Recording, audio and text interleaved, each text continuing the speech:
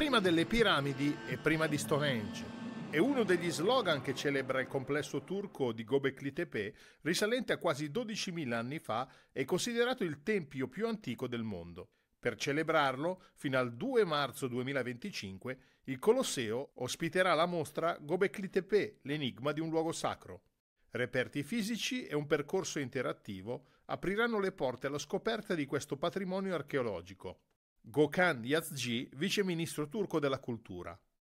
Göbekli Tepe,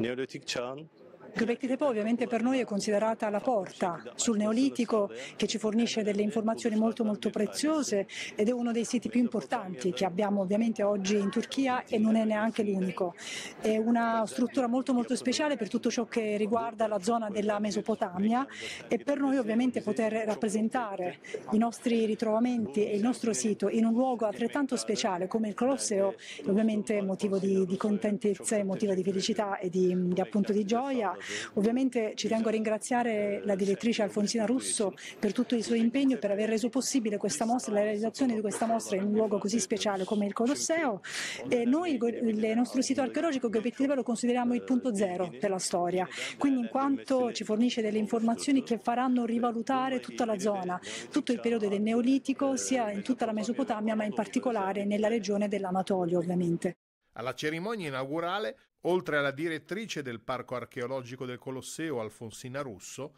ha partecipato tra gli altri il presidente della Commissione Cultura, Scienza e Istruzione della Camera, Federico Mollicone. Una collaborazione fondamentale soprattutto in un clima geopolitico così teso, eh, soprattutto con la Turchia, soprattutto eh, su una mostra che ci presenta una novità eh, e una tesi importantissima, cioè quella che addirittura la celebrazione di riti e di spazi sacri e la consacrazione di spazi sacri precedano addirittura eh, l'epoca diciamo, dell'agricoltura e sia riferita alle popolazioni cacciatrici e raccoglitrici. Questa è eh, sarebbe appunto una, una novità che eh, farebbe un po' riscrivere la storia anche dell'umanità.